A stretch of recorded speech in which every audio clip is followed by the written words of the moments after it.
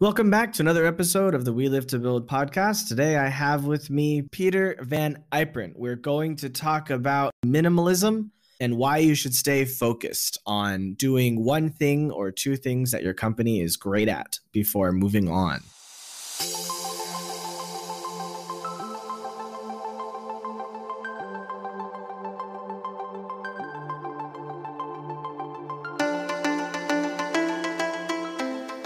Welcome to We Live to Build. My name is Sean Weisbrot, and I'm an entrepreneur, investor, and advisor based in Asia for over 12 years.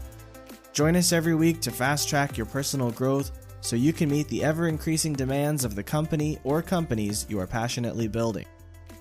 Time waits for no one, so let's get started now.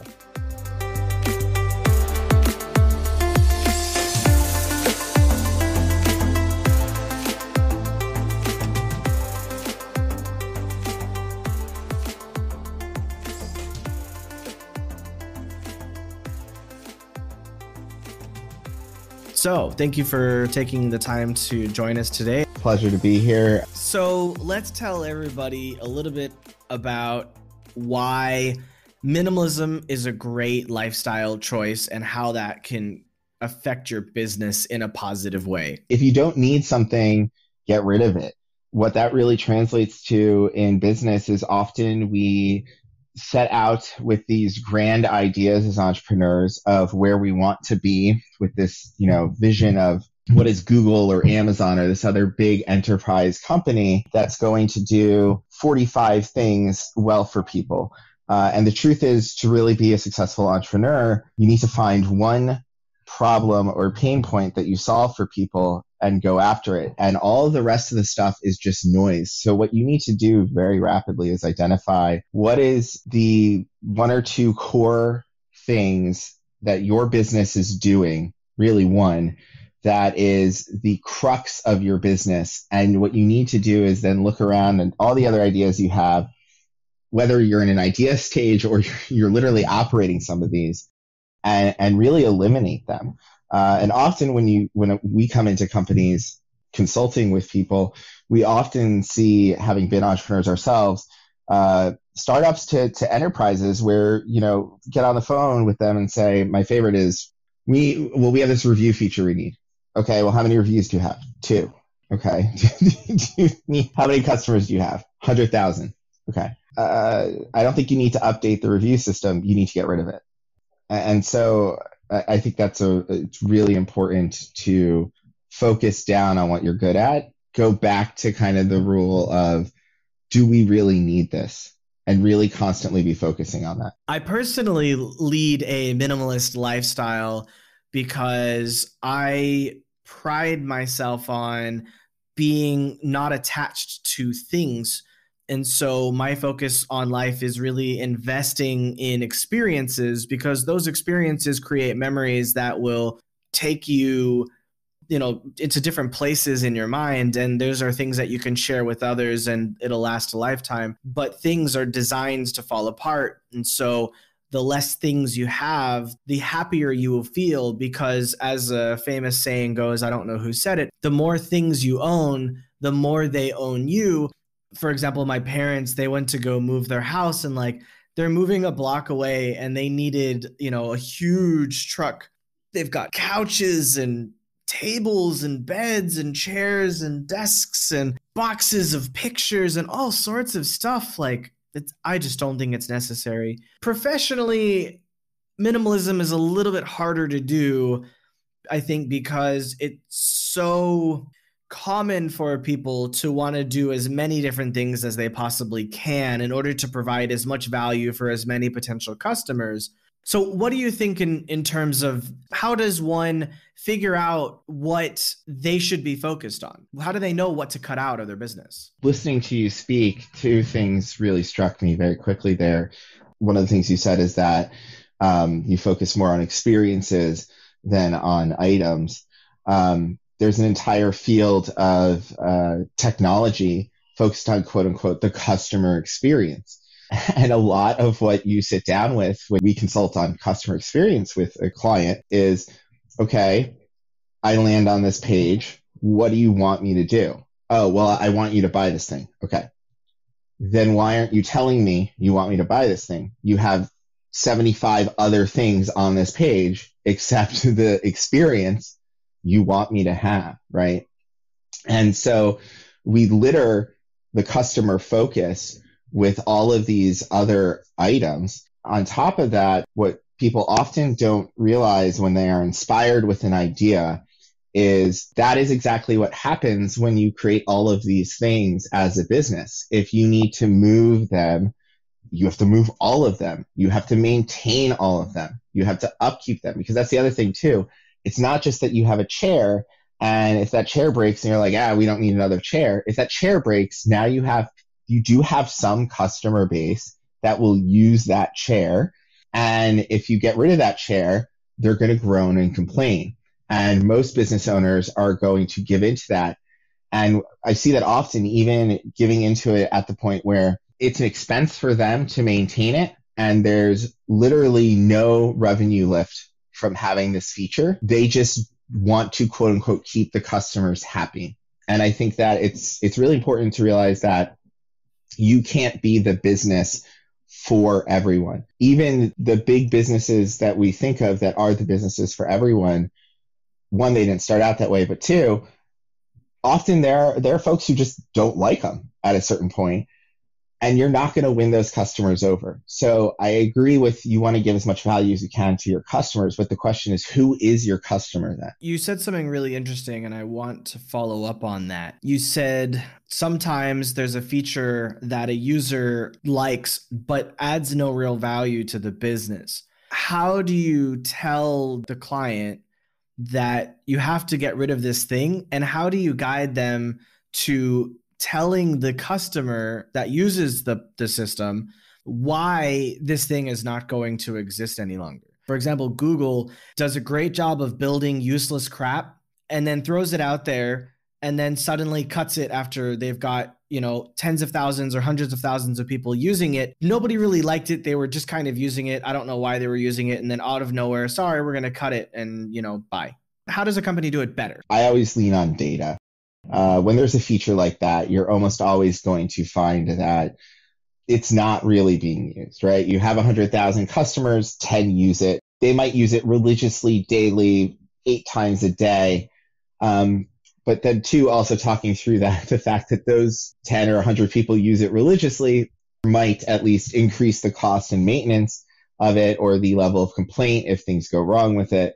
Um, so there's there's kind of a data journey there that usually we take a client on as far as convincing the customer um, it's really about pointing the customer back to the core experience and i'll be frank it's not going to work 100%. We like to put it as it's a feature trade off, and we try to make a weighted trade off, is what we call it. So, on the one hand, you're losing this thing that you love every day. On the other hand, we're going to announce at the same time that we're adding this other thing that hopefully is highly desirable, which softens the blow of losing that feature. At the end of the day, though, you might have those 100 customers run. Now, if those 100 customers are making up in some weird business model you have 80% of your business, then that is a core feature, right?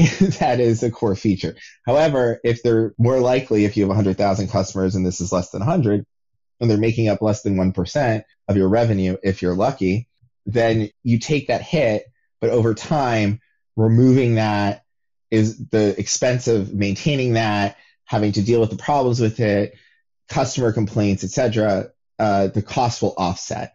And so I think it's again, it's a data journey and it's looking at like the longer term view of what your business is. There's always an unspoken expense here of focus, both on the business side and on the customer side. How long do you give a feature before you decide whether or not to get rid of it instantly right um, the the cheapest time to cut a feature is is in its absolute infancy uh, when you're you're devising if it's an idea right um, many people will forego sitting in a room and really giving themselves the hard litmus test of saying does this actually fit with our business? Does this actually procure revenue? Does this actually uh, truly increase customer engagement or happiness or some sort of key progress indicator? A lot of the times, ideas are very kind of ethereal and mushy and throw stuff at the wall. Let's see if this works, and it, which is a very agile mentality but there's costs involved there. Uh, and we see this a lot in startups where they're, they're throwing things at the wall until they run out of cash. Um, so I think you, you really have to have that hard conversation in the room before when it's on paper before you're even doing anything. I, I think short of that, you need to put it out there. Uh, and there's this other idea of like, I'm going to drop a feature. Everyone's going to magically find it. It's this magical thinking of the internet, right? Um, what people don't realize is the internet, even on your own website, you're, you're basically shouting into a black hole, right? Um, because they're speaking of focus. I mean, there's, there's literally more websites on, on the planet than there are people, right? So there's a million things, probably hundreds of billions of things to focus on online. And so how do you draw that person's focus? And a lot of times you see these tangential features with not really a lot of fanfare or anything except uh, maybe a highlight in a navigation menu, maybe uh, some email blast that's going to go into a spam folder and be ignored. If you're going to put the money and time and effort into this feature, you should be promoting this feature and launching it. And then to come around to answering, you know, the original question, how long? if you're really promoting the heck out of this feature, it becomes really quickly obvious from both a budget standpoint of the money you're spending promoting this feature and the return you're getting, whether this feature has value or not. Uh, and that's painful. It's a lot easier sometimes to just throw it out there and, and hope and pray and wait for people to find it and use it um, but the reality is they're not. And so you're just prolonging a decision you're going to have to make. You were talking about how you would advise a client to have another feature ready to announce when getting ready to cut the feature that people are probably not using that much. But there are some that are uh, holdouts. What if that company doesn't have another idea? What if they don't have another feature ready? What do you do then? I use the term feature loosely. It's really about having something to announce with your hit list, right? And so if you orchestrate this well, um, most companies adjust at least several things in a year. Most businesses do not just run statically for, you know, years on end. So maybe you're going to adjust pricing. Hopefully it's not a raise in pricing. You're going to add free shipping. You're going to something, some cookie, some, some little bit of something that you're changing that is a positive thing to give to uh, the customer and then you offset that with the hit list, right? And so what you're really trying to telegraph to the customer, which is true, you are removing A, B, and C and you're getting X. And X doesn't have to be some full blown feature. X could be, hey, if we get rid of A, B, and C, we can make X a dollar cheaper. It might not seem like a lot, but maybe you pay us a monthly membership and a dollar is a lot. And you can probably do that if you're not maintaining A, B, and C. I, you know, we're making up a circumstance here, but again, the idea is to look at what, what is the offset you can offer. And we kind of try to look at it in the opposite vein. When you're going to have positive things, right? Many customers come to us with, we need to make a bunch of changes. Some are going to be positive and when you're done talking to us, some might be, be negative, at least to that minority of customers. But you're going to be able to go out and push that out to people and and really have that offset. So it's it's not necessarily we need to go and sit in a room and think of something to replace this. It's what are the activities you're already doing that are positive that you can announce to a customer and then at the same time you're doing that, let's look through our list of weird stuff that we really don't want to have lying around the company anymore. Um, in other words, let's ask the question, do we really need this list of things? If not, can we get rid of it? And then attach that hit list to that positive announcement. So it's interesting you said that, talking about looking for things to get rid of. We're currently nearing the end of the development of the MVP for our platform. I find myself talking to investors, a lot of whom say, hey, I really like what you're doing, but I need you to be a little bit further. Like, I want to see users on your platform, or I need to see data on user engagement, meaning not just have users, but actually go a little bit more deeply, you know, have a few months of data generated and then share that with me. So, what I find myself doing is looking at the remaining roadmap for the MVP and what's supposed to come out after in the next six months. And I'm thinking about what I can kind of cut out of that roadmap so that we can get to users a little bit faster, so that we can get to those investors a little bit faster. You're talking about focus on the things that are going well and cut out the things that don't go well and try to figure out as quickly as possible how to know if this thing is not going to work out or not. But what if you have a core business and that business is doing crazy good?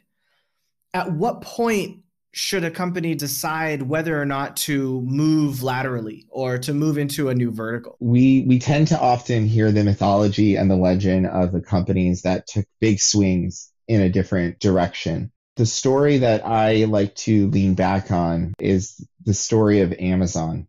Uh, lots of people look at Amazon and they say, well, you know, they they were a bookstore and now they do everything and they have AWS and everything else all of that change happened incredibly incrementally, making little shifts in each direction, even going back to an email Jeff Bezos sent to his valued users, basically saying, Hey, okay, you, you buy books through us. What else do you wish you could buy through us? And those were the things they went out and facilitated. They didn't just go and say, we're going to offer every product. They didn't, you know, AWS was developed out of a need to have better, you know, hosting and infrastructure and uptime and things like that as their site was growing, right? They needed to take over more of these things. And then they realized like we're doing these things, we could do these for others. There's kind of a natural progression and lean towards these things. And I feel like if if you're lost there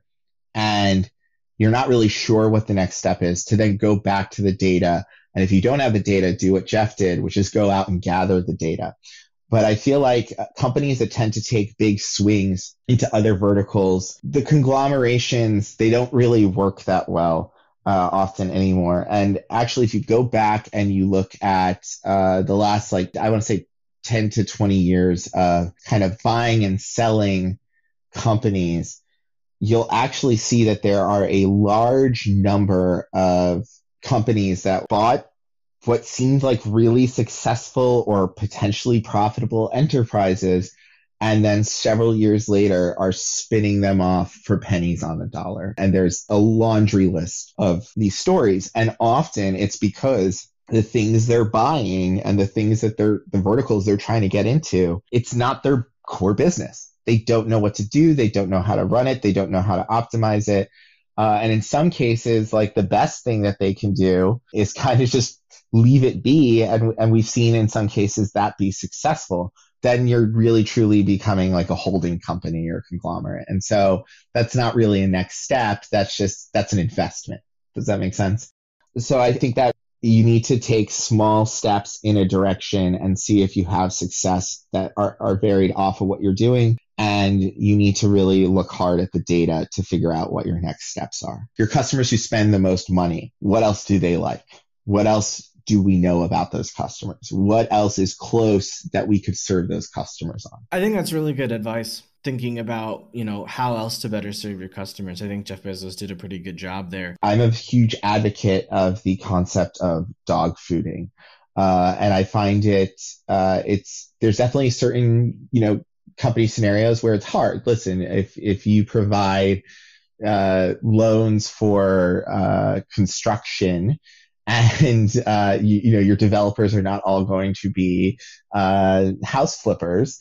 Um, however, I think it's really important that uh, people get in the mentality of kind of dog fooding their product, and if uh, if they don't, if they can't be their own customer, because the product doesn't fit them, then they really need to try as much as possible to have everyone on their team really invest in understanding their customer and their customer mentality.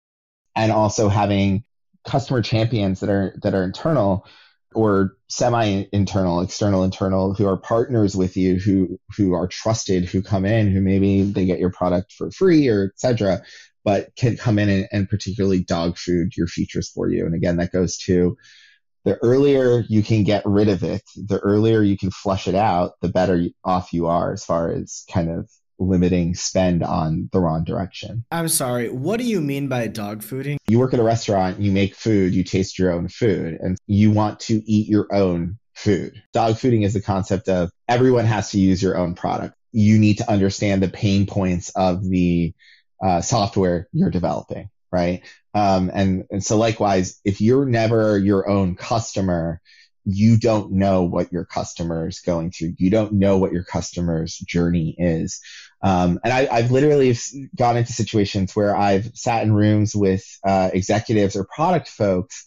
We've said, okay, well, where do you do this on your site? And they don't know. They can't find it. Uh, and and often it's like the QA person who who is has to be their own customer because that's their job. Who's like, oh, you go, you click here, and then you go through here, and then you go in this menu, and you you know if you really think about that, that's a little bit ridiculous. You're very out of touch if that's the case. And so, how are you possibly going to know, uh, again, if that idea that you're coming up with in that room is going to pass that litmus test of do you actually need this thing? Um, if you don't even know where the things you've built are. Yeah, that makes a lot of sense. Early in my career, I worked at one point with a UX person who brought a number of pages that they thought they had made look uh, extra better and enhance the customer journey 90% of it was small light text on light backgrounds. And uh, we sat in a room and they presented this and they were all very excited. They worked very hard on it. And all of us who were experienced with the customer and the client base looked at them and said, listen, the average customer who con- like contributes to 70% of this business's revenue is over the age of 60 they're not going to be able to see the text that you have on the screen. And the designer was uh, frankly embarrassed. Um, but again, it, it's because uh, at that time in that that culture, there were only a handful of people in that entire room who knew that. I think it's important to have transparency for, you know, developers and everyone else on the team. One of the things we preach at our company is this, this philosophy of, you know, radical production transparency.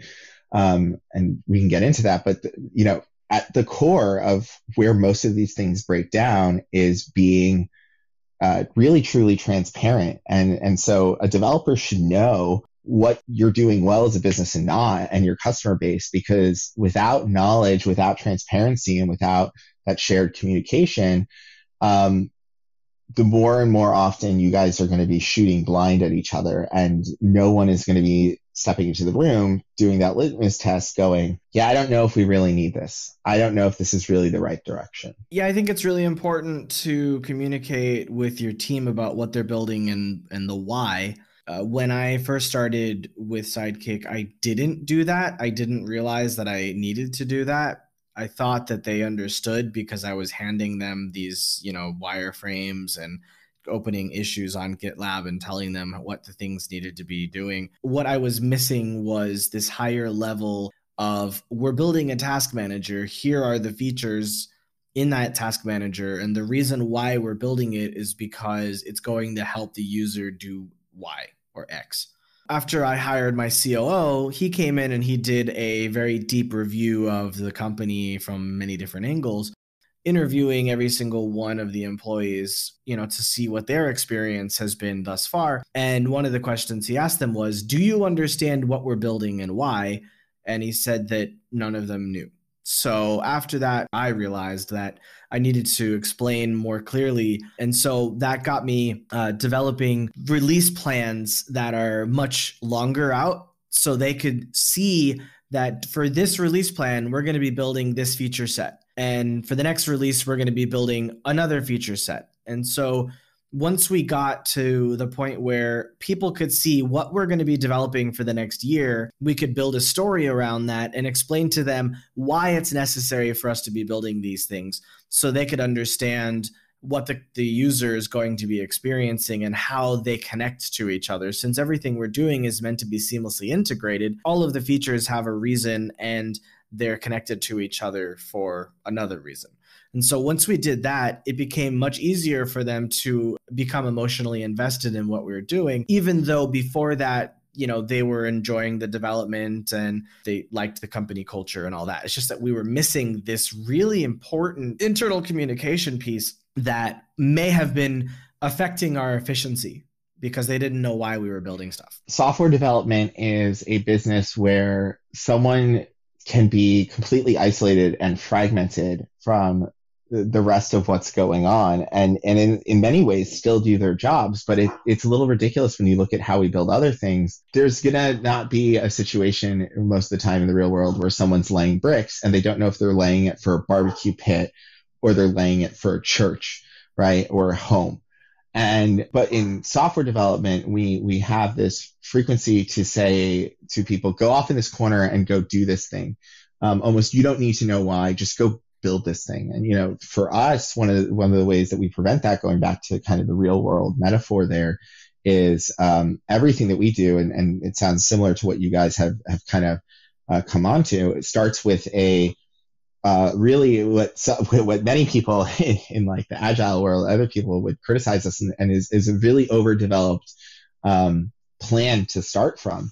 Um, but it, I, I want to be clear, it's not like a giant, you know, 140 page waterfall document, um, but it is a you know 10 to 15 page plan of what we're going to build, why we're going to build it, what's included, what's not, what are the ideas here, um, what should we be getting rid of, etc um, that everyone can go back to and kind of understand. And included in that is literal like background information on the client, the context of the project, what is specifically in scope and out of scope and why.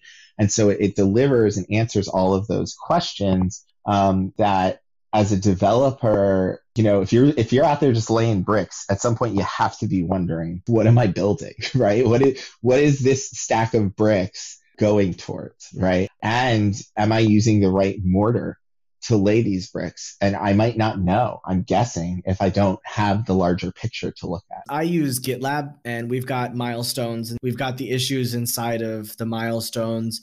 We've got very brief descriptions inside of the issues with, you know, maybe a mock up explaining what the features for, what it connects to, what's the expected behavior, links to other issues from the backend or the wiki documentation so they can look back and see how the API needs to be implemented, things like that. This release plan gets broken down into sprints. So, as far as I'm concerned, it's not terribly detailed, it's just detailed enough to get it done. What's something that you've learned recently that you're working to implement? We're always internally adjusting and looking at our own gaps. We start with a plan, but how many tickets do we actually start with? And what is enough to get going and where we feel comfortable with that? How can people keep up with you on the internet? What's something that's important to you that you think they should know about? pwvconsultants.com slash blog.